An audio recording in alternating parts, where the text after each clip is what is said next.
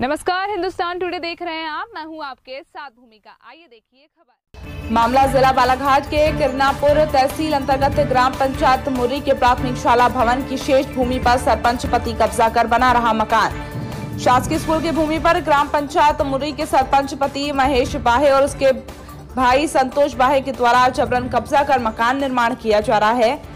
गैर कानूनी है जिससे ग्राम वासियों द्वारा पूर्व में ही तहसीलदार को आवेदन दिया गया था। इस आवेदन की कार्यवाही पर 1 मई 2020 को स्थगन आदेश हुआ था। उसके बावजूद सरपंच पति और उसके भाई के द्वारा न्यायालय के आदेश की अवहेलना करते हुए 5 मई 2020 से निर्माण चालू करते हुए दबंगई से काम कर रहा था, जिसकी शिकायत के बाद इस संबंध में एसडीएम किरनापुर निकिता मंडलोई ने भी तत्काल आदेश जारी कर कार्रवाई करने की बात कही।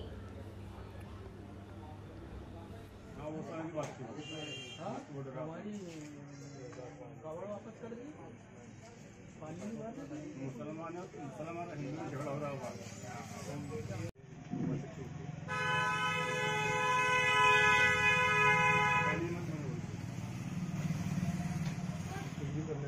बताइए नाम से शुरू कीजिए। नाम मुकेश गल्लेकर जी।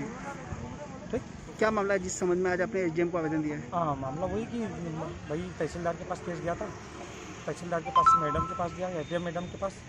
भैया अभी अभी तक तो काम चालू है उसका स्थगन आदेश मिलने के बाद भी काम चालू है। हाँ इधर से कोई कार्रवाई की नहीं जा रही। है हाँ तो फिर से आज आवेदन दिए मैडम को तहसीलदार मैडम को।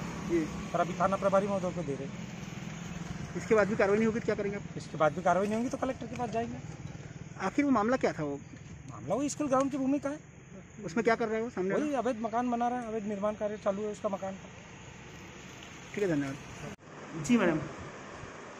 एक शासकीय भूमि पर निर्माण का मामला संज्ञान में आया था? क्या कहना है इसमें वो सुबह हमारे संज्ञान में आया था। तहसीलदार के द्वारा उस पर स्थगन आदेश दिया गया था जिसकी उसने अवमानना की है हमारे संज्ञान में आने के बाद हमने तुरंत थाना प्रभारी और हमारे राजस्व निरीक्षक को लिखा है।